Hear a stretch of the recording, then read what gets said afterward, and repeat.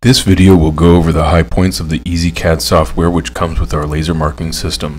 Through this presentation we hope to show how easy it is to create a marking template to allow you to mark on your materials. These are some of the areas you will want to become familiar with. First we notice the marking field. This field corresponds to the marking area that is predetermined by lens size. From there we move on to the quick drop panel where users can quickly select shapes, images, barcodes, or text and drop them into the marking field. This is the main control area for the laser to turn on and off.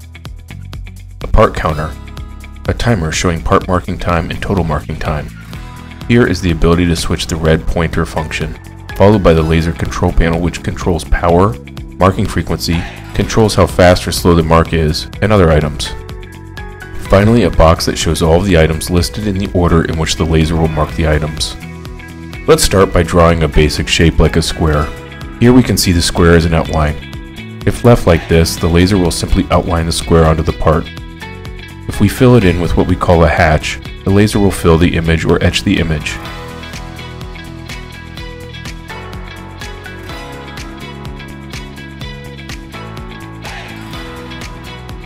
We can rotate the square by clicking on it and rotating the corner. We can simply hit the delete button after selecting the item to delete it.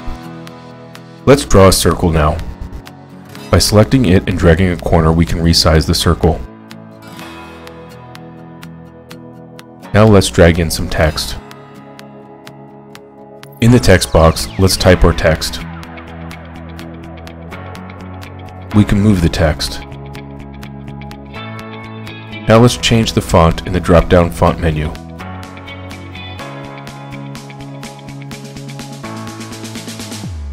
Click Apply.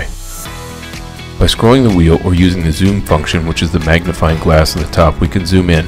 Notice how the scale changes along the edges. Now let's fill in the text using a hatch. Let's import an image. Here we have an image file that is vectorized. If you need to learn more about vectorizing images, feel free to reach out to us. Let's resize this image. Fill it in. Let's make a QR code that will point to a website.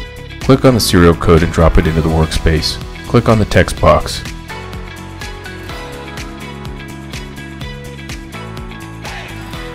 Type the website in the text box and then select QR code under the barcode font drop-down. Hit apply. Now let's hatch the QR code. If we mark this QR code onto a part, any smartphone camera can instantly recognize it and send a user to the indicated website. Let's change the internals of the laser. Here we can change the spot diameter, marking speed, and how frequently the photons bombard the surface, known as frequency. Drag another code onto the work surface. Change the type back to text. Click Enable Variable Text. This area is where the software can adjust the mark based on variables that are changing like serial numbers, time, date, or you can even push files or databases to the laser.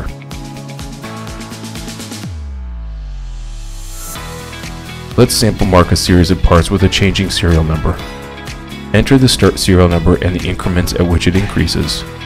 Notice that we can even index this to a time component for shift work. Let's start at number 1. Here we can see when we mark the part, the index occurs. Let's see how this occurs using a barcode. Select a barcode. In this case, let's use code 128A. Hatch the barcode.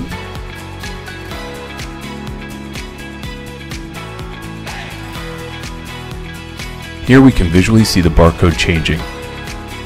Now let's make another barcode and hatch it. This allows us to change options specifically related to this barcode. Clicking on Show Text allows us to see a number of options including height, width, and other variables we can adjust for the text that is under the barcode. This panel allows us to make changes to the barcode itself. Press OK and we can now see the number which the barcode is based on. If the numbers are too close, we can change that. Go back into the menu and simply adjust the settings for the text under the barcode. Again, Hitting the mark button or triggering the laser with a foot pedal or F2 will index the mark, change the barcode, and increase the part counter. Our laser systems are built with 7 I.O. ports to easily hook up to robotics and can be built with a robotic interface control cards if required. For more information, please don't hesitate to contact us. Thanks for watching and feel free to subscribe for more videos or comment below on anything else you would like to learn more about.